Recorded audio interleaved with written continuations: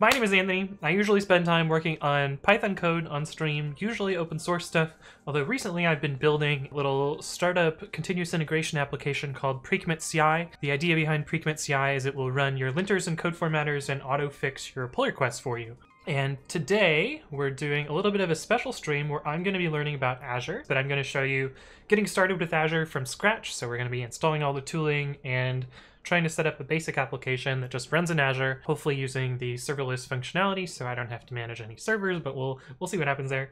Once that works, because I assume that will work really quickly, we will try and get pre-commit CI running in Azure as well. We'll see what happens. I'm not 100% certain what's going to happen there. That's what we got for the stream. Hopefully it goes well. I'm excited for this. I haven't worked with anything but AWS in quite a long time, so this this should be pretty exciting. Okay, I did a little bit of prep work before this, but mostly I wanted to start from scratch on this computer, so I did a little bit of prep work on my other computer. But the plan for today is to work with the Azure Terraform modules to do that from scratch. So I've already installed Terraform. Terraform. Terraform is a configuration management software that provisions cloud resources, and we're going to be using it to provision Azure resources. Uh, I don't have the Azure CLI installed yet, so we're gonna go over installing that. Okay, so I think I'm probably just gonna install it via PyPI, which is not recommended, but unfortunately, I have a way to do that automatically. So let's get, just figure out how I installed AWS CLI and do the same thing for Azure CLI. I don't know what its dependencies are, so I'm going to, I'm gonna isolate it in its separate virtual env which is just a little bit of copy pasta here. Instead of AWS CLI, we're gonna do AZ CLI. Comment is wrong. Azure CLI. Package Azure CLI. Hopefully that will work. Personal Puppet. So this is essentially setting up a virtual environment and doing pip install Azure CLI, which is a little bit weird there. Drunk Time White says, ooh, I see a ZipApp PR. I just learned about ZipApp a few days ago. It's pretty neat. Yeah, you're talking about here. Yeah, I'm actually working on adding ZipApp support to Precommit, which would allow you to just download a zip and not have to use any installer for that. So I'm using Puppet to manage the software on my machine. This is basically some automated configuration management. I have a YouTube video about this if you go to my YouTube channel, which is Anthony Writes Code, or linked in the Twitch chat. Let's see what happens here. Uh, made the virtual env. I think it's doing the installation right now which I'm a little concerned how slow it is. anyway, it installed after a while, and we got the Azure CLI. That's cool. Uh, if I recall correctly, the first thing we need to do is AZ login, and that should get us started there, which is going to make me log in uh, next. Paste that in there. Okay, hopefully none of these are secrets. Otherwise, yikes. Okay, we're logged into Azure. That's this part. So I wanted to just make a very basic Flask application just to get something working. And then we're gonna try and upload that to Azure Functions and try and serve it out of whatever the Azure equivalent of, of Gateway is. Uh, so git init, Azure sample application, initial empty commit. Let's just copy a pre-commit config from some other project that I have and get that to the latest versions. But pre-commit is the uh, tool that I'm, I'm working on today. But I'm gonna make a very simple app and we're gonna do import flask uh, app equals flask dot flask. I've made a million flask apps, so this is basically just some boilerplate here. Methods equals get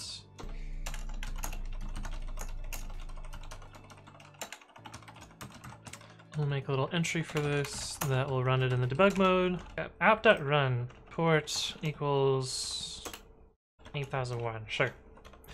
And we're gonna set up a virtual for this. Oops, VM. Interesting that this prints system exit too. That seems like a bug. Install, well, let's make a requirement minimal.txt, and then I'm gonna install Flask, and then I'm gonna freeze these requirements into requirements.txt. Uh, making sure to pin all of the requirements. These are all the dependencies that we're using so far. And we should be able to run our app. And if I open this in the browser, okay, we've got Hello World working locally. It's not on Azure yet. We'll get there soon. Let's see web app flask. Let's see if there's a tutorial on this. Scroll through this and see what we need. I wonder if I have that in the virtual env that I made and I just didn't symlink it. Wow, it installed Fabric? Interesting. Also, we have batch files, even though we're not on Windows. So we don't have the func command, but hopefully we don't need that. Oh, because we gotta npm install something? Hmm. Hmm. We could try this. I'm not gonna use dash G. npm i this guy. Hey, we got the Azure logo. Okay, cool. All right, create the Python function. Hmm, this is using the func stuff. Looks like there's a PyPI package for this. Let's uh, install those. Pip freeze requirements.txt. Okay, so we've installed Azure Functions. My guess is this is kind of the bridge code between uh, a normal WSGI application and Azure. Step two, create some code. Okay, we've already created the code. We're not going to use the func way. Kind of cool they're actually using type annotations as well, which I find kind of cool. But they're using the func types here. I think we can get away without using that. Here we go. This this this readme was much more useful. Perfect. Okay, that's what we want. So they suggest doing import azure.functions as func. I kind of don't like that. I know it's like super popular in data science to do like as np or whatever, but I think it's much more readable just to azure.functions. That way it's super clear that this works that way. Call it Azure main and maybe we'll rename it later. Yeah, remote add origin. Close all these out. And that should pass pre-commit now. Yay! we don't have any tests. Oh, we also don't have a setup.cfg. And I'm not gonna run any tests for this thing, so. Well, and then we should have just all green stuff. Michaela says now it's gonna look like C Sharp. Man, I wish I could write more C Sharp. I love C Sharp. It's so good. Initial commit with pre-commit and pin and penances. Hopefully we'll see what else we need to do there. The next step, we're going to be creating a function. Function entry points.py. We'll do it like this in a separate file. Import uh, azure.functions. So this this cannot be named name main because this is also named main. Git add app.py turns out the Azure function has to be named main. But we will need to add that function.json or functions.json or whatever it was called. Let's just copy this. Function.json function entry point dot py bindings. Yeah, sure, that seems fine. Importing logging is optional but recommended. Hmm. But you say C Sharp reminds me of Java and that reminds me of nightmares. But the thing is, and I've said this a lot, C Sharp is Java that doesn't suck. yeah, this is basically an entry point for my application. It will import this code and look for this special main function and call it using whatever Azure primitives. In fact, we have the Lambda example on the left. The Lambda example is a little bit more complicated, and we're actually going to need to do the same sort of thing for Azure, or the way Precommit CI picks its backend implementation is based on this environment variable. We'll need to do a little bit of shuffling there, and so these these should almost look the same when we're done with it, which would be pretty cool. Um, required main takes these things, cool, foo, race of the two. Yeah, no, it doesn't. Doesn't work. Oh, that's actually a weird error message. Unsupported operator type 4. Oh, I see. They're both implemented the same. Okay, you can debug your Azure function locally in Visual Studio Code. That's kind of cool. I guess we could create a function and see what it does. I think I have VS Code installed.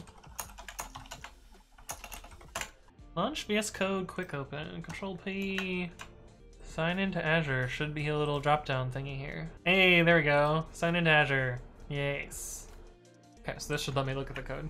That's all I wanted to do. Launch.json.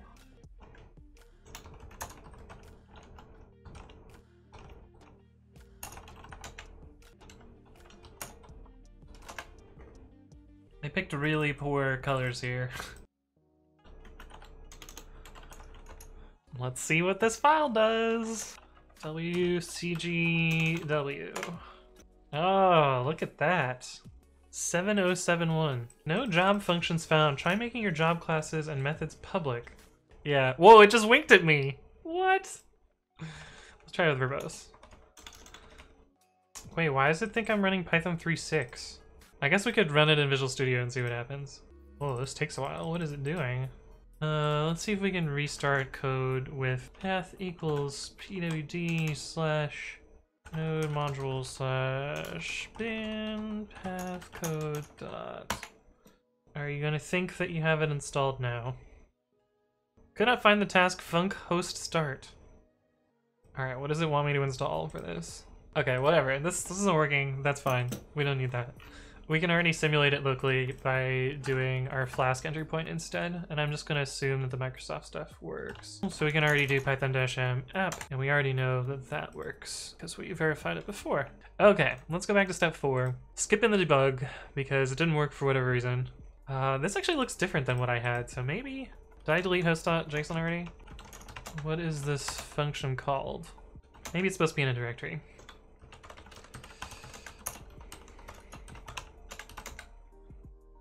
Functions, my function. Oh, that's that's an improvement, but it failed. Also, it failed to import due to do the way that it's running this. Let's see. Let's see if that works. Should complain about Flask now. No module named my function. Usually touching end up high is not going to change anything, but... Alright, let's look at their troubleshooting guide. Use your favorite text editor to open the wheel file. It's a zip! Oh, they have the wrong terminology here. This is not a wheel. Let's just stick it all in one file and see what happens. Cat my function app.py. Okay, so we'll just get rid of the Flask main.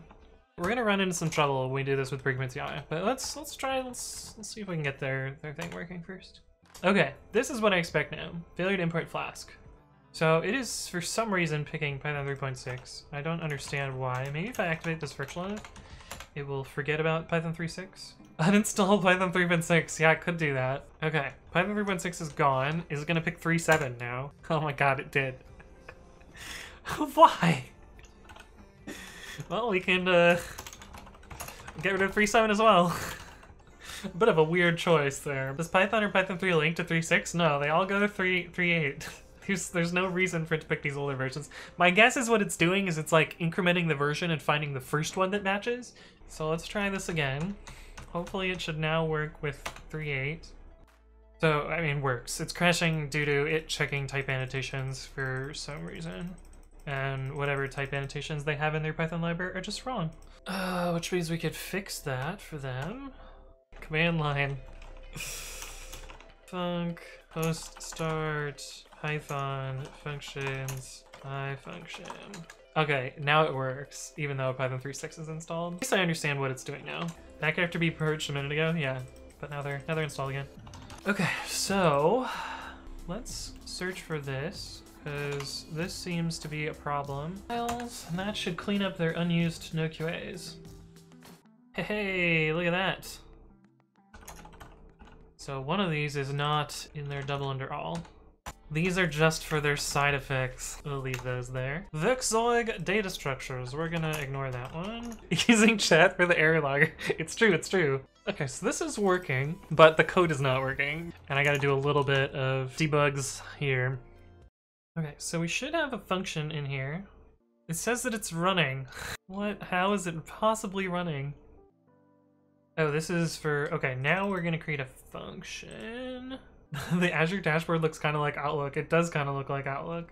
Okay, alright. Let's, let's read this again. A storage account. We don't have a storage container, though. Storage container. Collection app deployments. Those tools terrify me. I mean, they, they can be a little scary, because uh, with one command you can just delete everything. Functions worker runtime equals node or python. Okay, let's do that. Let's get rid of this thing for now. I don't know that this is needed. Oh, I forgot to comment this out as well. This is a bit more complicated than it is on AWS. Let's just try and build one and upload manually. Easy function Easy function app. Create, delete, list. Uh, kind function app. This is a lot. Manage function app deployments. Manage function app functions. Function. This is helpful. Thank you for that, Parsit. Oh, OS type Linux. Let's see if that changes things. Oh, is it replacing it? Oh, forces replacement. That's why. Destruction complete after three seconds. Okay, so in theory, we have changed this to Linux now. Let's refresh. Nope, still says Windows. So let's actually just do the same build output as they have, which means we're gonna set up these other weird connection string things. And then I'm going to manually build a bundle and upload it and see what happens with that. All that. Let's see what this does. This changed anything. Oh, it must have failed to recreate last time. So that's why it says Windows? Yeah, it's it's not applying my changes. So we're gonna destroy and then create. Uh, also, love that it just puts the password here. Yes. Let's build this thing. Watch it error because the old one still exists. Okay, it no longer says operating system here. no! Why are you Windows again? It's for some reason using Windows. I guess we're gonna do this Visual Studio. You ready for me to use VS Code again? Not about to try and debug a Terraform module. VS Code, yeah. Well, VS Visual Studio proper doesn't run on Linux. It's doing something there. Uh, create function app in Azure. Enter a globally unique name. Easily demo 2. Okay.